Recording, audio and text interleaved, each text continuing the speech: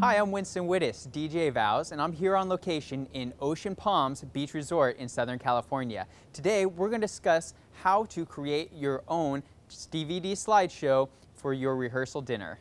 So first, we're going to want to categorize all of our photos into one easy to find place. For me, that's usually the desktop where I will create a new folder and then put all of my photos into it.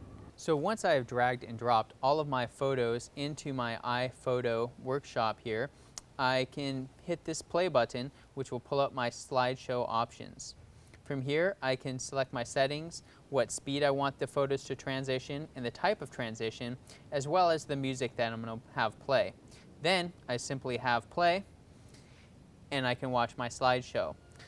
I'm also able to turn it into a DVD simply by hitting Burn to DVD under Export.